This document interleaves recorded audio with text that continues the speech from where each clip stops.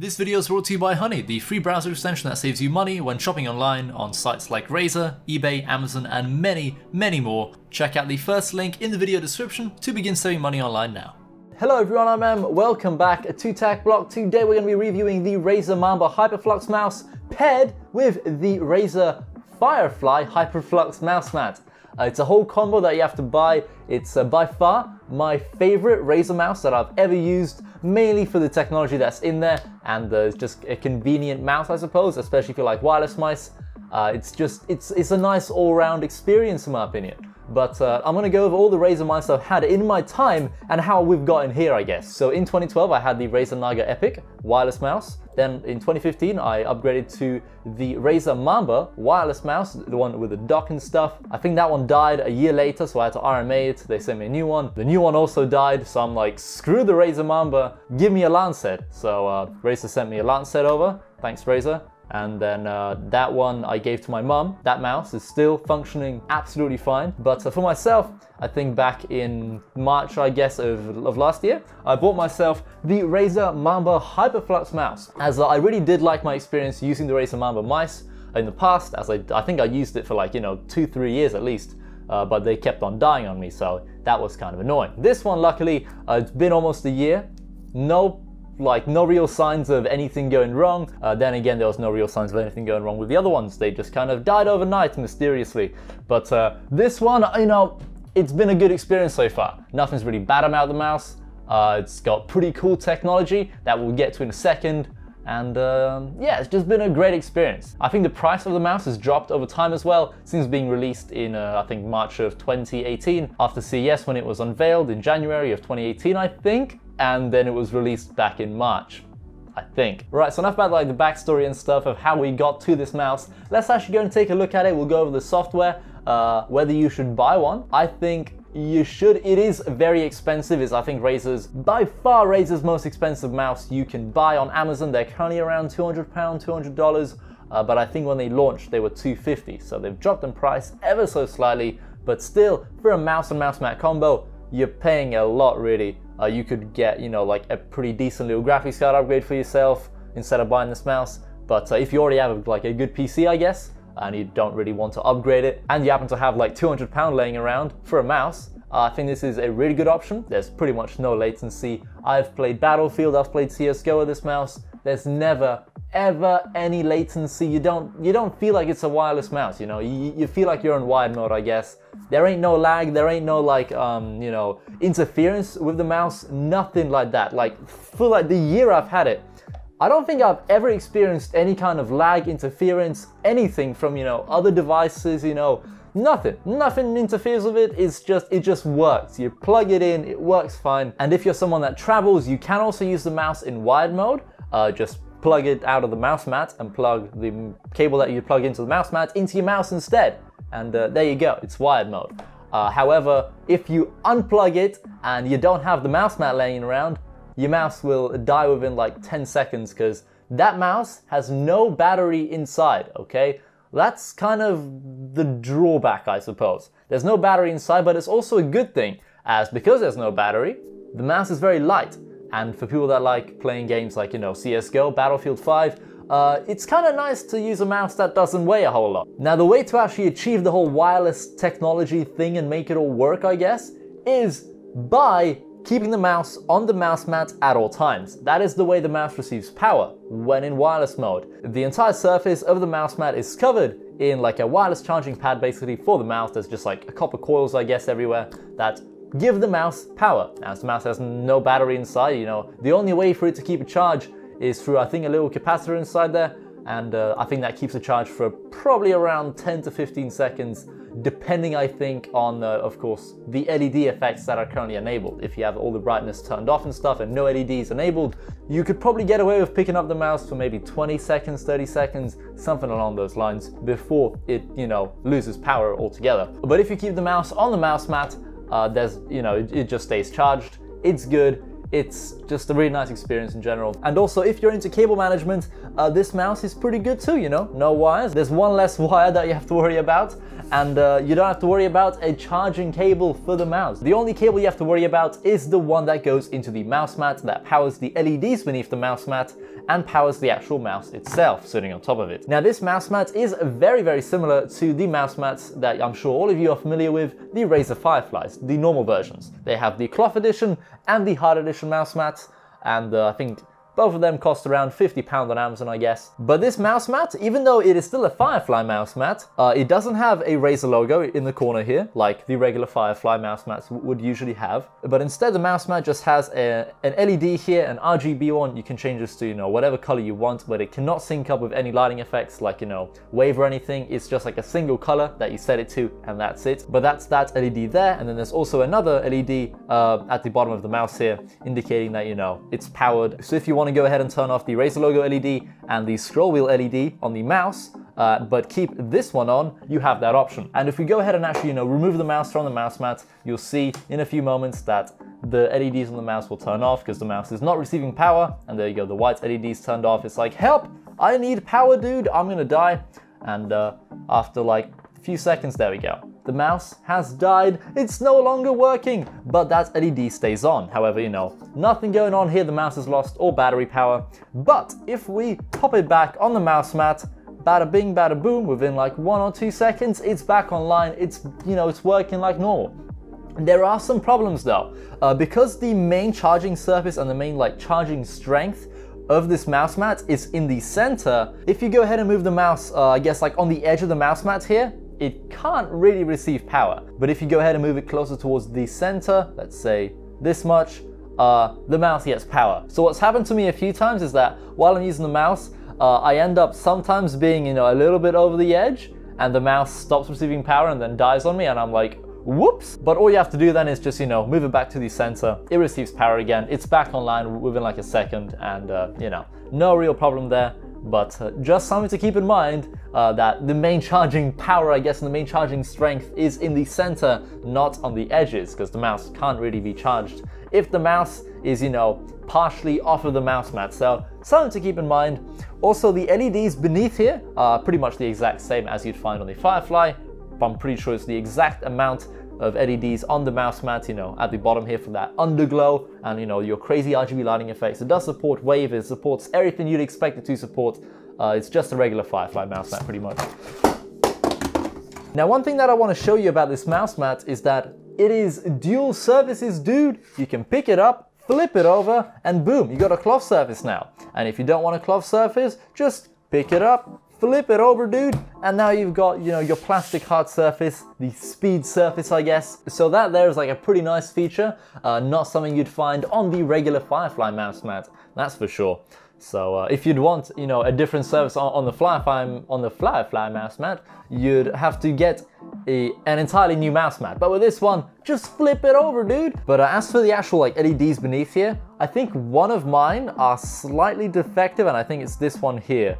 Uh, you probably won't even ever notice this, uh, especially like on camera, but in person, now and again, one of the LEDs kind of go out of sync and change to a color they're not meant to change to. And I'm not entirely sure if this is like a software related bug or like hardware, as the LED still works fine, it's just every now and again, it's slightly out of sync. So just something to keep in mind about the LEDs on here. They're pretty good except for one sometimes being out of sync, depending on what color it's on. But uh, as for the actual tech specs of this mouse, in case anyone cares, uh, 16,000 dpi, optical sensor, uh, Razer's like 5G optical sensor, and uh, very accurate. The latency, as I mentioned earlier, there's no freaking latency. Uh, it's just, it's just beautiful. And of all of the mice out there right now, uh, I don't think Razer could release anything at the moment that would make me switch from this guy, mainly because I, it's just so convenient to have a wireless mouse that you never have to plug in and charge overnight. Also, I just got an email from freaking Volkswagen there.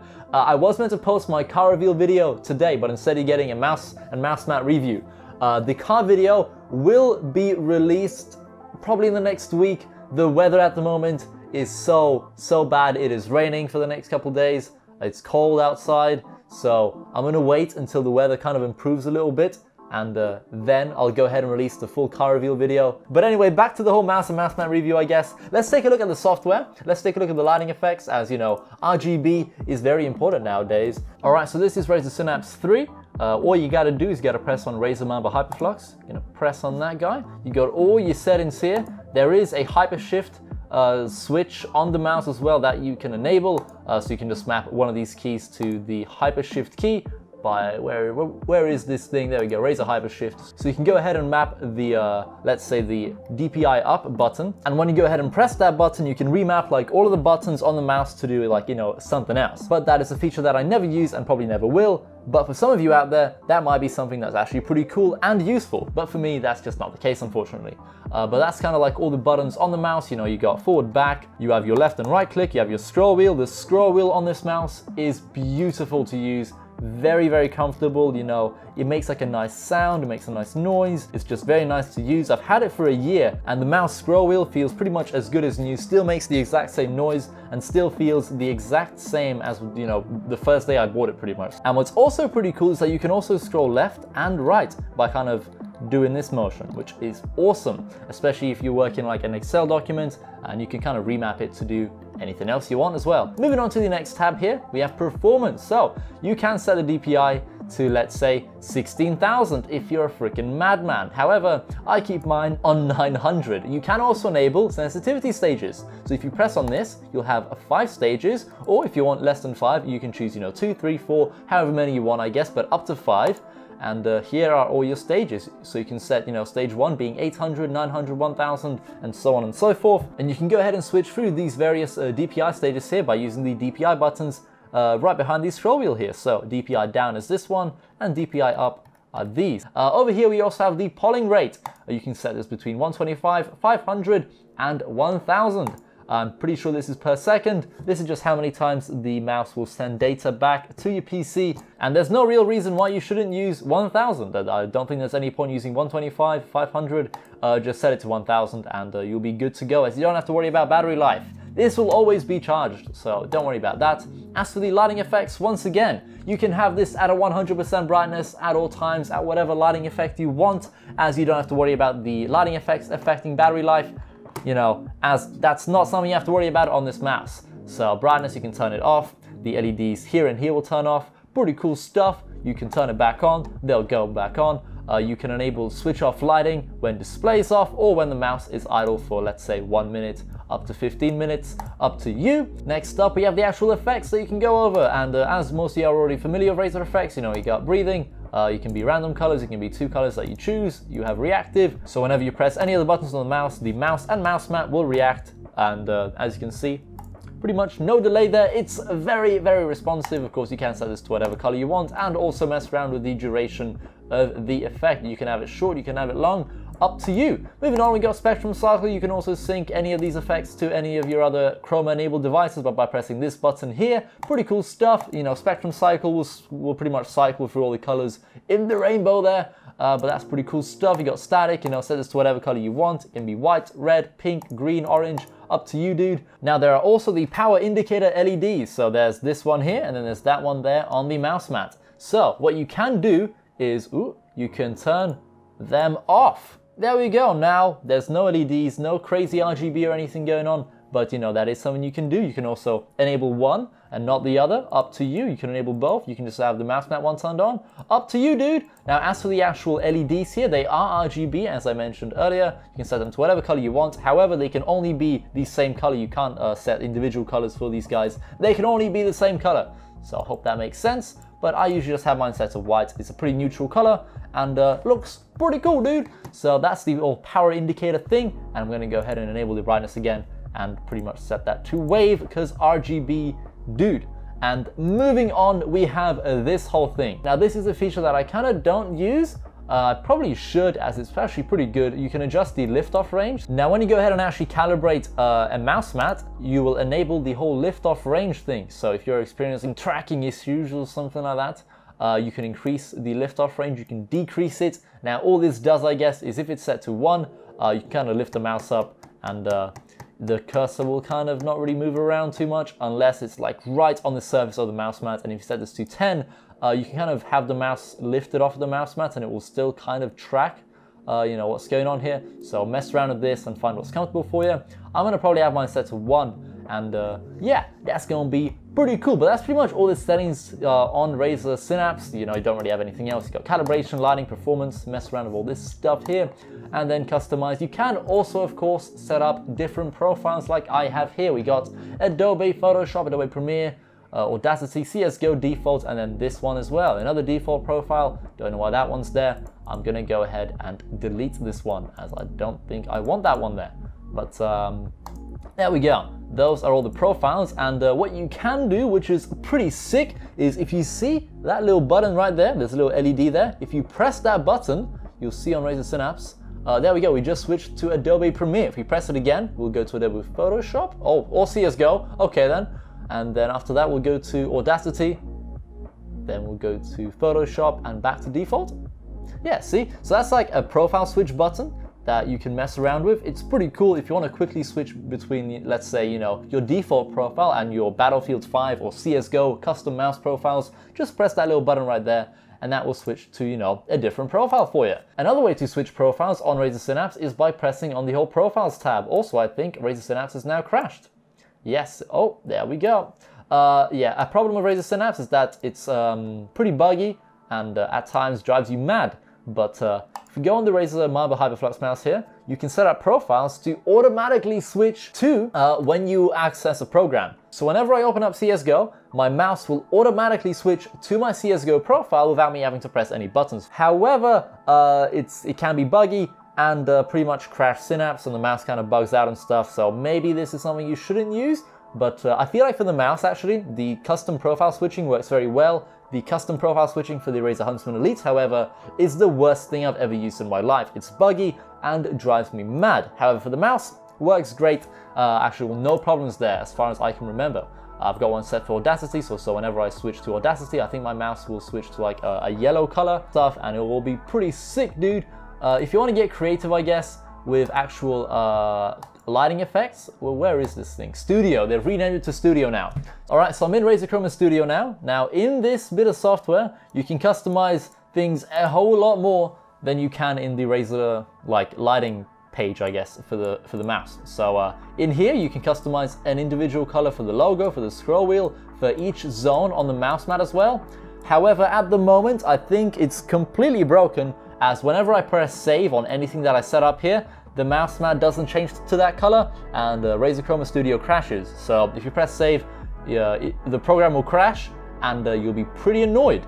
So I'd say avoid using Chroma Studio for now until they fix all the freaking bugs and you know software issues with Razer. But when it does work, you can get very creative and set up you know multiple effects here. So different effect layers here. You got static wave. You have all these here that you can choose from, fire and stuff. You know all these things that you can select and set up some crazy lighting effects for your mouse and mouse mat. But uh, you know, unfortunately at the moment I can't really demonstrate anything as, like always, the software is broken, especially Razer Chroma Studio, which has been available for so long now, and it's still so broken. But I'd still probably rate this mouse and mouse mat combo like maybe like an 8 or 9 out of 10. I feel like it is still stupidly expensive for a mouse and mouse mat combo, uh, but also bear in mind that I think there's nothing else quite like this. Uh, so that's probably why the price is, you know, a little bit more well, not a little bit more, a whole lot more than everything else out there on the market. But uh, it is very, very convenient, very, very nice, and um, it's just so good. I love the mouse. And at the moment, I feel like Razer could release a new Razer mouse, and I'd be like, meh, I'm, I'm not upgrading to that. But I will probably still cover it on the channel and I might still buy it to make a video about it. But I don't think I'd upgrade to the mouse and use it as like, you know, a daily driver. I feel like this is gonna be my daily mouse for the foreseeable future until Razer go ahead and release the Razer Mamba Hyperflux version 2. That is, of course, if they ever go ahead and release, you know, a version 2 of this mouse. But uh, apart from that, everyone, thank you all so much for watching. If you want to go learn more about the mouse, I'll leave plenty of links in the video description down below to, uh, I guess, the Razer store, Amazon, probably Newegg, and, you know, whoever else sells it. Uh, so yeah, if you want to go learn more about the mouse, all the links are down below in the description. If you want to go buy it as well, links are down there to Amazon and stuff. But apart from that, guys, hope you enjoyed watching this video. Let me know if you want to see more freaking peripheral reviews on the channel. And if you do, uh, let me know in the comment section down below, dude. Apart from that, though, thank you all so much for watching once again. And I hope to see you in another video soon. Goodbye.